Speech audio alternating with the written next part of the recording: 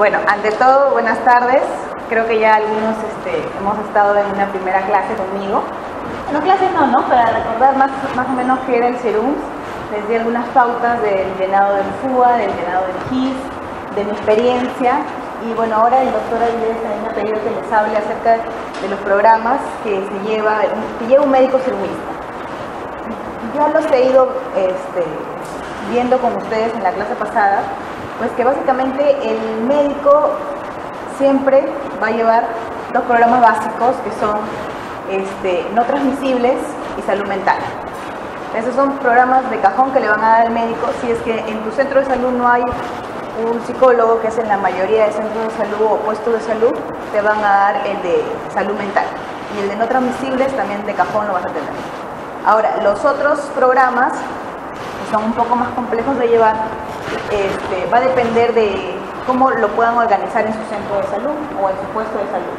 Habíamos visto ya esto en la vez pasada, cerca del área mujer, área niño, no transmisibles. Por ejemplo, calidad, este, en algunos centros o puestos se da, pero en otros no. Yo sí llevaba calidad, no hacíamos nada, pero era un, como que un responsable de calidad y había reuniones de calidad y todo eso tenías que ir, pero no se presentaba ningún tipo de informe.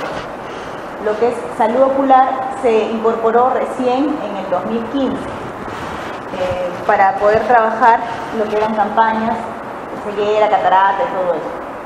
TB y VIH siempre lo lleva un personal técnico, eh, salud mental, como le dije, o, ustedes, o un personal psicólogo, enfermedades metalcémicas, también lo lleva un personal técnico y promoción de la salud lo debe de llevar un personal técnico porque es un trabajo que se debería de armar eh, como un proyecto.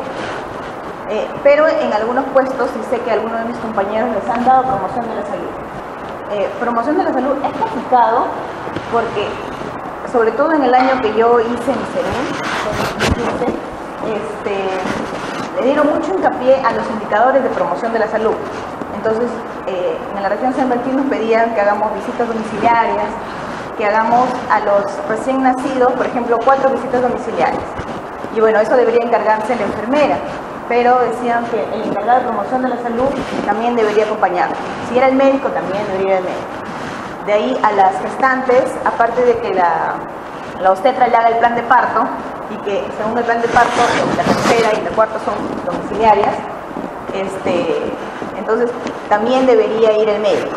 Entonces, había mucho formato que llenar porque no solamente era su plan de parto o no solamente era la visita de la enfermera, sino era el formato de promoción de la salud, los FUA de promoción de la salud, el GIS de promoción de la salud. O sea, muy complicado de verdad llevar promoción de la salud. Ustedes pueden estar, eh, y eso es lo que les, vengo a recomendar, ya como va a ser mi última vez que me vean, entonces este, cuando ustedes vayan a elegir un centro puesto, lo que yo les, más les recomiendo es que vean la interacción con los, este, con los trabajadores. Van a estar un año.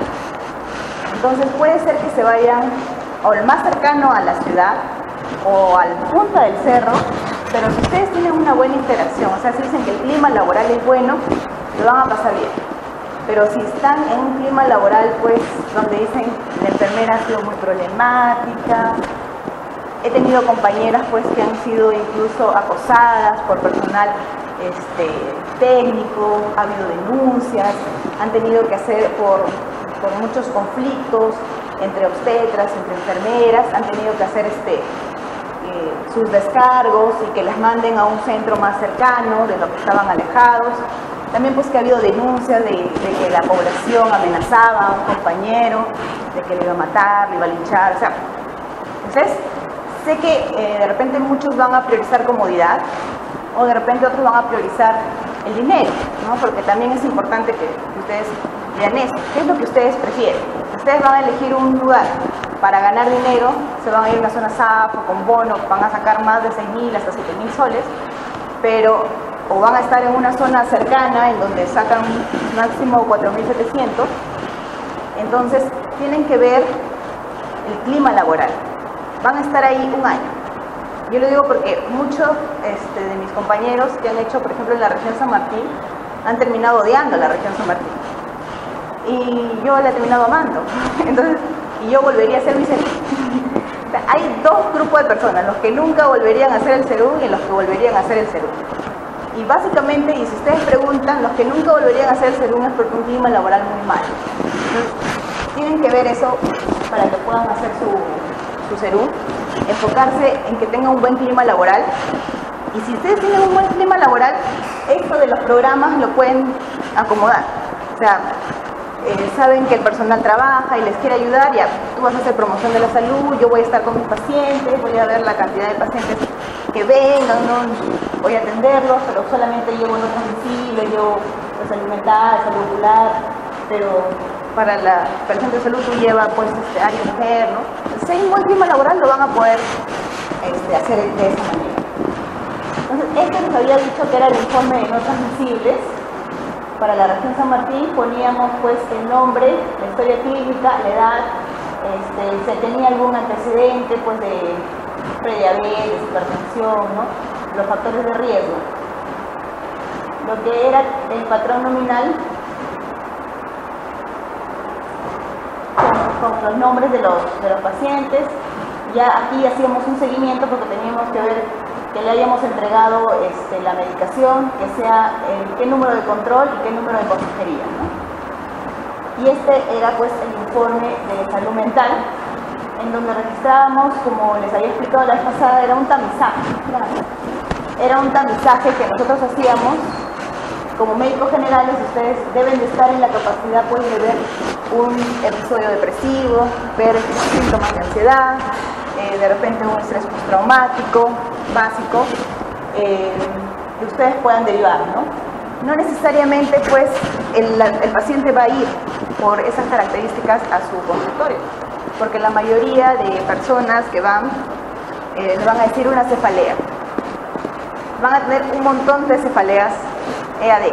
Entonces, ustedes tienen que ir viendo ya qué características tiene. Le pulsa, le oprime, está relacionado con que tiene depresión, que la presión alta, está relacionado con pues este eh, que ese dolor se incrementa cuando está la luz exactamente, que haya náuseas, que ustedes puedan ir determinando y puedan clasificar. Si ustedes han hecho todo su examen clínico, neurológico, no lo ven, busquen que ese sea un síntoma somático de una depresión, que también se manifiesta de esa manera, ¿no? ha pasado anteriormente, ha tenido algún problema y la mayoría les va a referir pues sí, ¿no? Y ahí va a salir este, toda su patología, ¿no? Y ustedes también tienen que estar preparados, decir, ah, no, bueno señora, ya, cálmese, ¿no? Este, ya.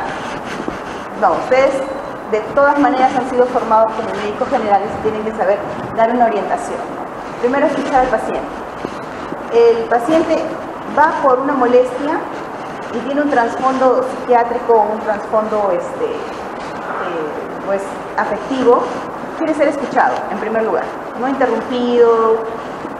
Cuando ustedes, o bueno, cuando yo lo, que los que deciden llevar la residencia de psiquiatría van a ver que el paciente quiere expresar su patología.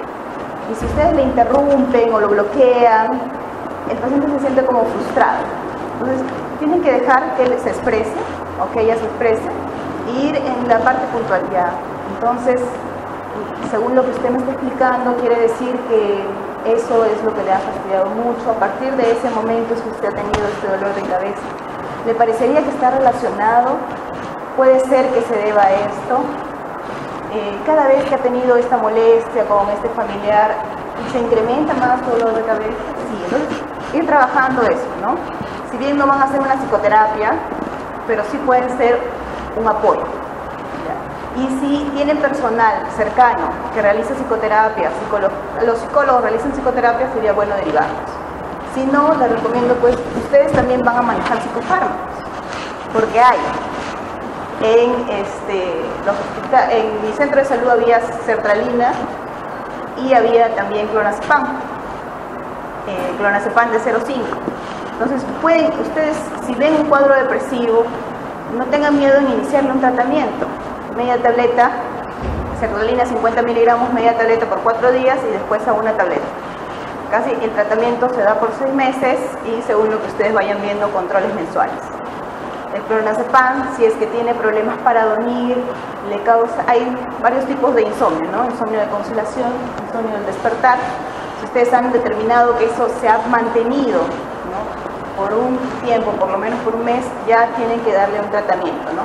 0,5, una tableta de 0,5 por la noche, para empezar. Hay pacientes que son muy susceptibles al clonazepam. Si ustedes le empiezan, no sé, de 2 miligramos, media, una, planchan todo el día siguiente.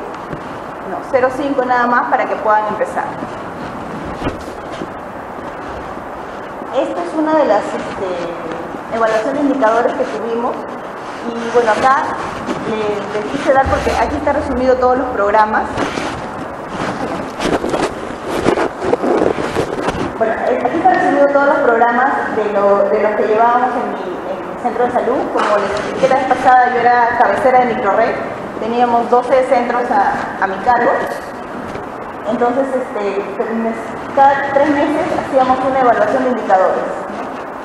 Entonces, los indicadores en el área niño, por ejemplo, los que tenían que ver era acerca de, los niños menores de un año que se habían vacunado con la vacuna pentavalente en los establecimientos de salud del de red.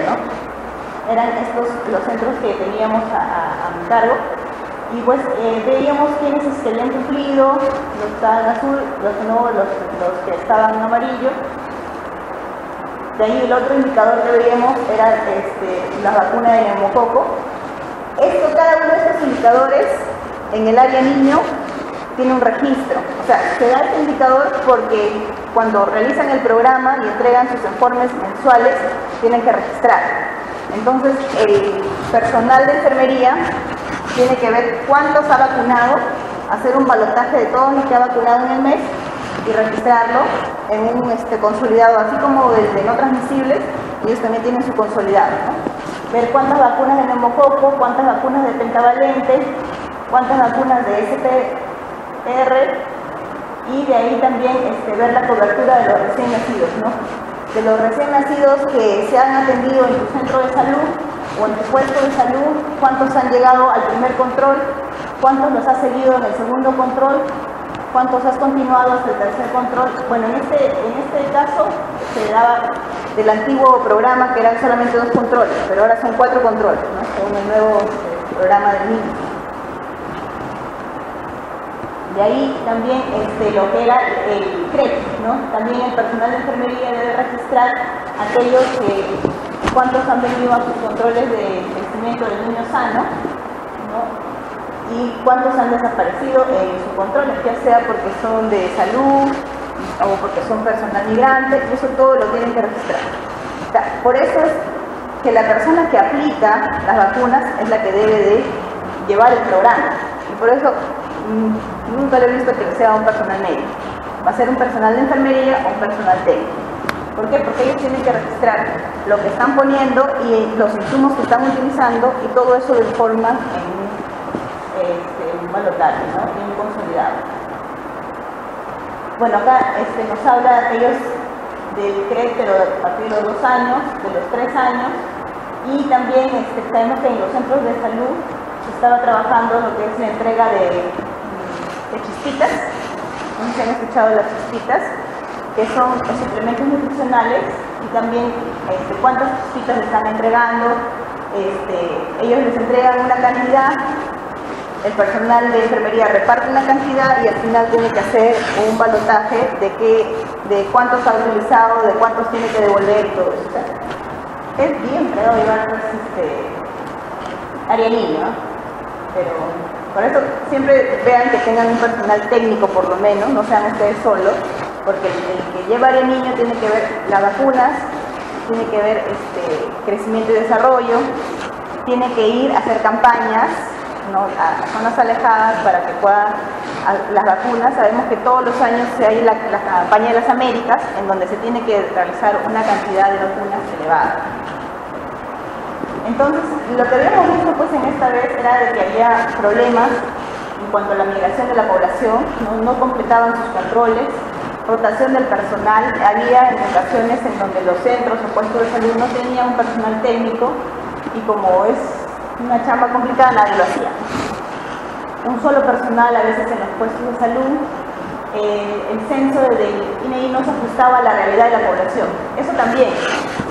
Eh, por ejemplo, eh, lo que pasaba con nosotros es de que a veces te hacen tu meta programada según el censo del INEI, pero la realidad tu población tiene menos niños o tu población tiene más niños también, va de los dos lados.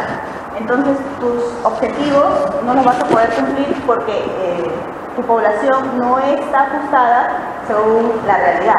Se pide según el censo del y, en muchas poblaciones no se ajusta a la realidad. Pérdida de, la información por un mal registro, no se realiza un control de calidad oportuno. Y eso es lo que habíamos visto también eh, la vez pasada, de que cuando yo llegué pues no había habido un buen registro de lo que eran no transmisibles, no ponían este, hipertensión y abajo administración de tratamiento, y con solo poner administración de tratamiento ya recién jalaba tu indicador. Entonces, ah, eso había sido por una mala capacitación. Lo mismo los, licenciados, ¿no? sabían llenar bien cómo tienen que dar las chispitas, porque en ese que vimos del app la vez pasada, cómo llenar el GIS, este, ahí tienen que estar poniendo qué número de entrega es y qué mes están poniendo. Entonces, no lo hacían de esa manera y no les jalaba el indicador tampoco en lo que son los indicadores del área mujer, bueno, había lo que es eh, la cobertura del parto institucional. Aquí lo que se quería es pues que no se atienda, ¿no? En la región San Martín teníamos tres centros de salud que funcionaban como puntos de entrega de parto. Entonces nosotros si atendíamos partos en el centro de salud estábamos mal porque no habíamos referido a tiempo. Tenían que referirse a Picota, a Estados Unidos o Chamboyá. Entonces, este, eso se veía en estos indicadores.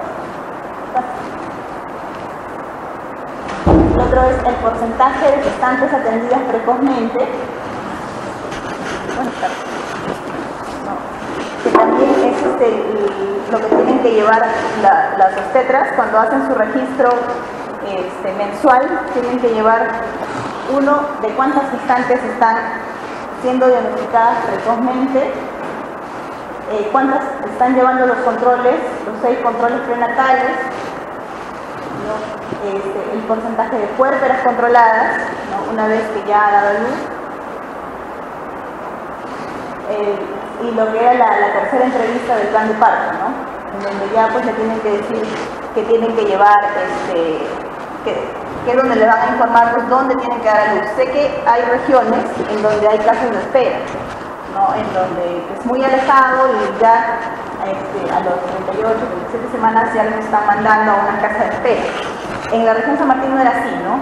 Pero por eso teníamos un punto de entrega de parto, que era un centro de salud, aunque eran 1 3, pero se atendían parto.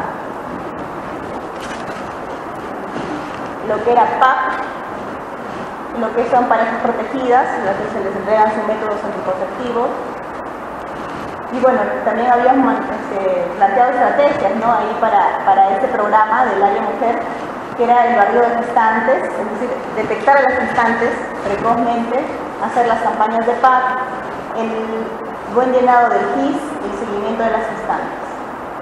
En el área de no transmisibles, que es el área que les comenté la vez pasada, pues lo que nos piden básicamente el indicador son adultos con atención de hipertensión arterial y estos son los adultos pues que han sido atendidos y que tienen tratamiento. Por eso poner administración de tratamiento recién se jalaba el indicador. Y adultos con tamizaje de glucosa, que les enseñé la vez pasada cómo es que se ponía cuando hacíamos el tamizaje de glucosa, ¿no? Si era un resultado negativo o cuando era un resultado positivo. Entonces, básicamente haciendo esas dos cosas cumples el indicador de no transmisible. Y cuando les presenté, ¿se acuerdan? Que cuando llegué estábamos así, en cero, cero, no, no habían cumplido. ¿Por qué? Porque no sabían cómo llenar el formato de GIS ni de los CUAS. Entonces ya cuando, bueno, este es el primer este, informe trimestral porque aquí hice pues, mi capacitación a los chicos, porque aquí puse que ese era un problema. El problema era de que no había hecho un correcto llenado, les expliqué cómo es que tenían que llenar ¿no? Evaluación y entrega de resultados, es para el tamizaje. Si te sale negativo, resultado negativo, actividades no transmisibles y consejería. Esa para la administración de la hipertensión y de la administración del tratamiento, según la guía que nos habían dado en ese momento. Y con eso ya, como les comenté, a los tres meses llegamos pues al 100% en todos los establecimientos. Los indicadores de promoción de la salud. En promoción de la salud se estaba trabajando lo que eran las instituciones educativas, inicial, primaria y secundaria, en realizar prácticas saludables. Esto sí es muy importante porque al inicio del año tienen que hacer un plan anual con el colegio y con, este, o sea, con primaria y secundaria. Entonces, el plan anual consiste en que ellos también tienen indicadores que tienen que eh, programar sus actividades. Entonces, tienen que reunirse su promoción de la salud con el director de promoción de allá del colegio para que hagan actividades, porque ellos te van a pedir temas. y aparte, tú también tienes que dar temas, sobre todo de alimentación y nutrición. Entonces, tienen que armar un plan para todo el año. Lo que son la implementación de las familias. Aquí, o sea, los que quieran ir a la San Martín saben que uno de los problemas, por así decirlo, y lo que los chicos se han quejado bastante es acerca de la implementación de familias saludables. Es un proyecto que ya lo tienen años. Cuando fuimos capacitados en el colegio médico nos dijeron de una manera, cuando fuimos a la direza nos dijeron de otra manera, y cuando fuimos a la red fue otra manera. O sea, tres versiones diferentes de cómo implementar una familia. ¿Por qué? Porque cada cada centro, cada red va a querer que ustedes hagan para que jalen sus indicadores. Estos indicadores que yo les estaba mostrando, que estábamos mal al inicio, eh, les dan dinero a la red. Entonces ellos quieren pues tener dinero. Incluso les he traído pues indicadores sanitarios, no indicadores este, por el FUA. Los FUAs también les dan dinero, o sea, el CIS también le da dinero al, al centro de salud. También hay indicadores para eso, sus, sus valores son menos, que piden mucho menos de lo, de lo que te piden los indicadores sanitarios. Entonces, en el área de promoción de la salud y la implementación de familias saludables, en la red de salud, pues, donde yo estaba, nos pedía que cumplamos con estos indicadores, implementar familias para la gestión, estábamos mal en el inicio, eh, realizar lo que eran las prácticas saludables, este, y cumplir estas dos cosas y ya. Pero lo que nos pedía la dureza lo que nos, pidió desde acá era hacer un trabajo de familiograma, hacer el seguimiento de cada persona, hacer un árbol familiar, o sea, como si fuéramos medicina familiar, hacer un trabajo bien, bien, bien, bien este, pesado, ¿no? Y que sé que en algunas regiones, de la, o sea, que en algunos distritos de San Martín sí lo, sí lo hicieron, algunas provincias. En Moyobamba hay algunos que sí les pidieron hacer así, ¿no? Con familiograma, con, con varias cosas. En mi caso no, solamente nos pidieron para este, cumplir los indicadores para ellos. Lo que, sea, que eran los indicadores de estrategias sanitarias metaxémicas, pacientes pues tratados con leishmania, fiebre amarilla, dengue, malaria. Este, nosotros no tuvimos, al menos en, en cero, no hubo casos este, por mi distrito de dengue o de malaria. Sé que había habido brotes mm, en años anteriores, por eso estaba serio. Vigilancia entomológica para ver pues estos también vectores. Los indicadores de tuberculosis que siempre se hacen y que sí hay, ¿no? O sea que este, se puede decir que, no están en un nivel de desnutrición la población, pero sí hay TDC.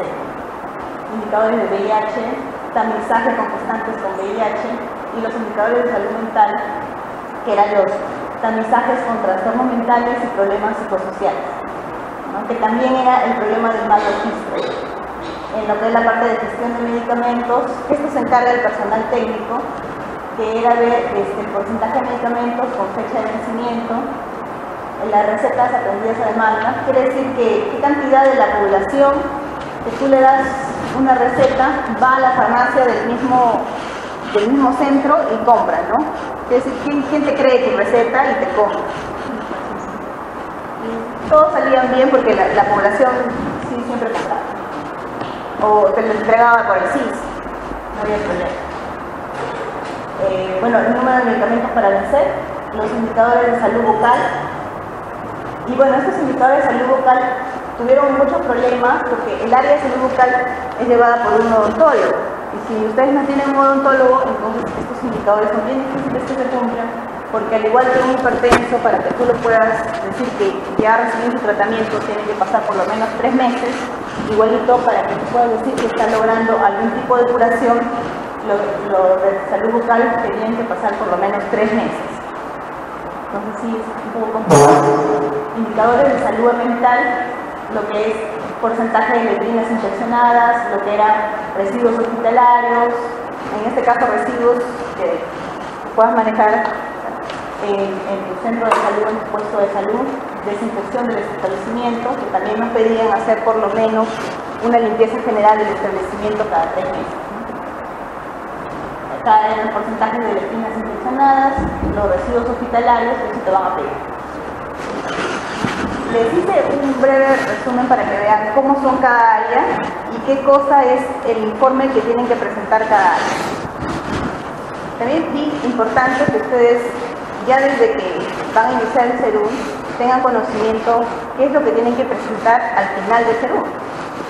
En la región San Martín nos piden un informe de familias saludables. ¿Qué es eso? es el proyecto basado en familia y comunidad de jurisdicción el Centro de Salud León Soprado y que agarré dos barrios, el barrio Guayco y el caserío de San, San Antonio. Se hace un plan este, de, tu comunidad, qué es lo que vas a querer trabajar, cuáles son tus objetivos, tu cronograma, eh, todo un proyecto que, tienes que presentar, basado básicamente en las visitas domiciliarias, cuántas familias estás atendiendo, qué eh, vas a hacer con esas familias, como les expliqué la vez pasada, es ver qué problema tiene la familia y hacerle visitas mensuales, bueno eso es en la teoría, hacerles visitas mensuales y ver en qué manera tú puedes ayudarles dándoles una orientación. Ahora, sabemos que la realidad, aunque tú quieras orientarlo, la familia de repente no va a cambiar eh, por diferentes problemas socioeconómicos, pero lo básico es que identifiques problemas que sí puedan cambiar este, a corto plazo. Eh, lo mismo, pero en la otra comunidad. Y esto era lo que se basaba, pues, familias saludables, ¿no?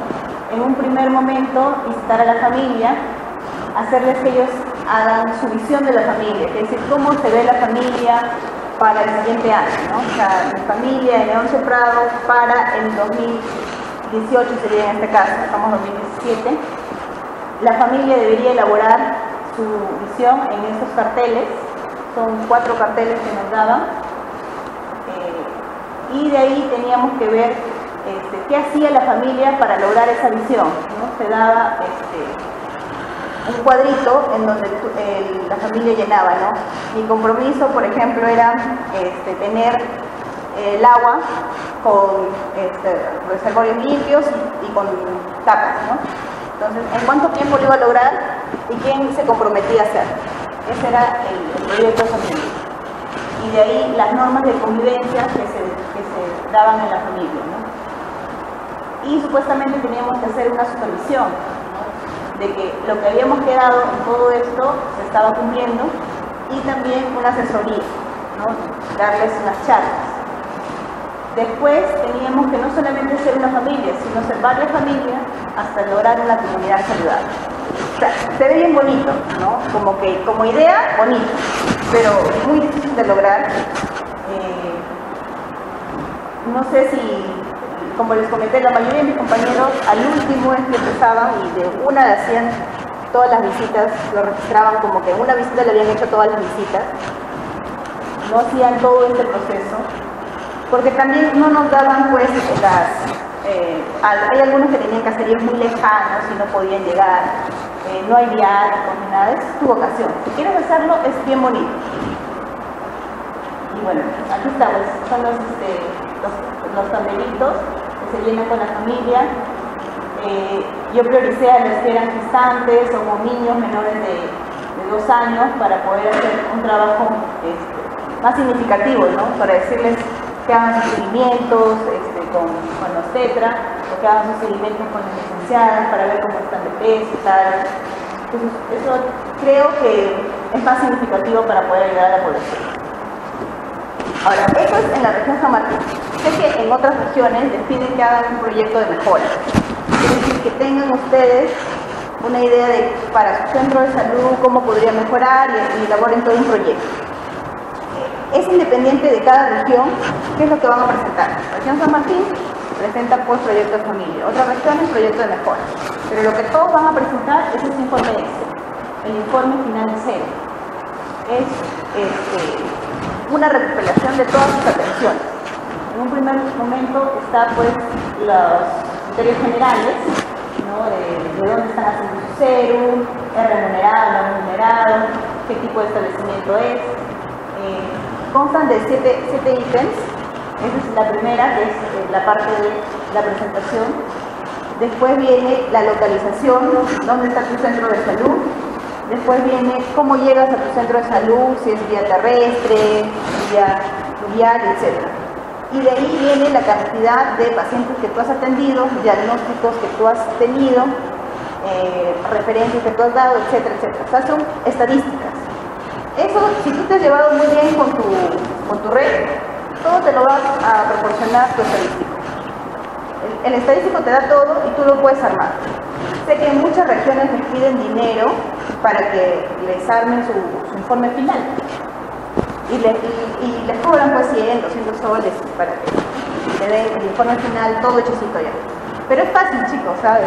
si se llevan bien con el estadístico, él les da su porcentaje, de, porque todo cuando ustedes llenan el GIS, por eso tienen que llenar su GIS y tienen que sacar copia, entregan al estadístico y ustedes tienen que tener una copia para que vean que ustedes han trabajado, porque también hubo un problema con, algunos compañeros que le ponían producción cero en un mes. Y no puede ser así, pues no ustedes tienen su copia de su GIS que se han trabajado. Aunque hayan visto tres pacientes en un día, ahí está, las copias de su GIS que se han trabajado ese día. Después le pueden hacer problemas, y ha habido problemas. Sea, no les digo porque de repente, ay, no le han caído gordo. Sí hay problemas, chicos. Eh, sabemos de que ustedes van con la mejor voluntad, pero de todas maneras van a encontrarse con personas que en, algunas ocasiones no se han llevado bien con anteriores serum, o que anteriores serum se han ido 20 días y no han estado pues, en su centro de salud, piensan que todos son vagos. Es mejor que ustedes se protejan. Ya les di las leyes la vez pasada, esta vez una recomendación que saquen sus copias. Y según lo que ustedes han visto, los que son los estadísticos van a registrar su porcentaje de atenciones, porcentaje de pacientes con tales este, diagnósticos y todo eso les pueden dar al final del año y ustedes arman su informe de cero. ¿Por qué les digo que esto todo lo van a presentar? Porque esto todo lo suben a la plataforma. Ya les imagino que les van a decir en sus capacitaciones de, colegio médico este, cómo subir a la plataforma cero. Porque hay una plataforma en donde te van a pedir que al final esté tu informe de éxito y las constancias de fin de serum que tienes que entregar. En nuestro caso, por ejemplo, era la constancia de aprobación del proyecto de familia y comunidad. ¿Por qué? Porque lo teníamos que presentar al alcalde de nuestra población y también desarrollar nuestras cuentas vecinales. Entonces eso teníamos que tener una constancia. Constancia de término serum, constancia de no deudar bienes a la institución. Y es por eso que esto es muy importante con lo que le dije la vez pasada, ¿no? que si tenían que hacer de todas maneras un inventario cuando ustedes llegaran a su centro. Porque el jefe de su centro le va a firmar esto. Si ustedes son el jefe, no Van a ir a su jefe inmediato que es de la microred o su jefe inmediato que es de la red. Ahí no hay más problema. Pero si es que tienen un jefe problemático, falta algo, no les va a llenar esto, y puede ser que no terminen de hacer todos sus papeleos a tiempo, si quieren postular la residencia no lo van a poder hacer. Entonces, constancia de no deudar bienes a la institución, constancia de trabajo, de haber estado laborando todo el año, y constancia de entrega de cargo. O sea, el cargo que tú has tenido, ya sea pues de, jefe de tu centro de salud o de las áreas que tú estás llevando, tienes que entregarlo, ¿no? Constancia de entrega de cargo. Y bueno, esas son las constancias que se tienen que presentar para hacer tu, término de cero aquí estaban las actividades preventivas promocionales que les había comentado. es muy bonito trabajar con la población, tanto en familias saludables, en mi caso, como también en charlas o a nivel de las instituciones. Lo que les quería presentar al final era ya para terminar el informe de guardias comunitarias. En todos los lugares hacen guardias comunitarias. Se llaman así, pero en algunos centros acuerdan que sean guardias el centro de salud. O sea, que sean guardias efectivas eh, donde vean ustedes pacientes o estén de retén. Lo que debería de ser es que vayan a la comunidad y hagan un trabajo en la comunidad, o sea, familias saludables, por ejemplo. Pero, como les digo, eso todos ustedes tienen un buen ambiente laboral, lo pueden eh, trabajar con su, con su jefe, le dicen, bueno, yo voy a hacer visitas tales días, pero me voy a poner guardias tales días. ¿Por qué? Porque si ustedes se ponen guardia los domingos, y aquí van a ver, estos son, este, por ejemplo, lo que nosotros decíamos, nos poníamos cuatro guardias los domingos y una guardia en el día de la semana. Y cuando sacaban su porcentaje, salíamos ganando 678 soles por guardia en general. ¿Por qué? Porque los domingos te pagan más. Y este es acuerdo interno, porque no vas a ir todos los cuatro domingos. Sino, acuerdo interno es que yo voy dos domingos, hago mis visitas domiciliarias, yo estoy apoyando en el centro de salud siempre. Eh, los otros domingos no voy a ir, pero me voy a poner en el rol que sí voy a hacer guardia comunitaria. Entonces se pone y puedes ganar un porcentaje más alto. Eso es si hacen un acuerdo con tu centro de salud. Si no, te van a poner guardias, en algunos centros pues les hacen hacer guardias de noche, eh, su postguardia que deberían de tener al día siguiente, la juntan para que sean sus días libres. Eso es lo que se hacía, por ejemplo, en Moyobamba. En Moyobamba, como a veces habían dos médicos, lo que hacían era, el médico estaba de guardia de noche, al día siguiente supuestamente tenía que tener su descanso, pero iba igual y juntaba sus guardias para tener más días libres. Y podía irse nueve días libres. Como les expliqué, en la región San Martín los días libres son muy pocos, cinco a nueve máximo.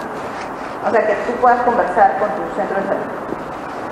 En cambio, yo sé que en otras regiones se van por dos semanas, o lo hacen partidos, Huancavelica, Huánuco, si les dan más posibilidades para poder esos son los informes también que se hacen de las sesiones educativas. Y bueno, de todas maneras decirles que, como les dije, hay, dos grupos de, personas, ¿no? los que nunca más harían el CERUM y los que sí harían el CERUM de nuevo. Y eso es básico de que ustedes vean qué es lo que están buscando. ¿Quieren dinero? Y si quieren dinero, este, salen con un buen ahorro, que también es muy positivo, y van a salir contentos porque han ahorrado. ¿Quieren divertirse, quieren pasear, estar más cerca? También. Yo me a un centro de salud 8 puntos este, para estar más cerca de la ciudad. Pero es un riesgo porque ustedes saben que ahora eh, ha habido un grupo que no ha podido postular el año pasado para la residencia, que se está juntando para ahora. Y van a salir los feministas también que también este, eh, van a tener otro grupo. De ahí se van a ir quedando, quedando, y cuando usted salga va a haber más gente que va a postular. Yo les aconsejaría que sí vayan a un 10 puntos, porque ahora ustedes van a tener más problemas para poder ingresar a la residencia. Va a haber más gente que se ha quedado de los anteriores procesos porque ya no está viendo el de mitad de año. Entonces, piensen bien a qué carrera van a postular. Yo de verdad no estoy tranquila porque es psiquiatría casi la mayoría no va, yo desde tiempo quería psiquiatría, me averigüé más o menos 8 puntos, normal lado.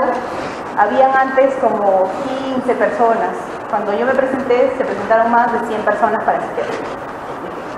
Mejor me hubiera asegurado con 10 puntos. Entonces, yo creo que chicos, ustedes ahora la tienen un poco más difícil porque tienen más gente que va a pelearla.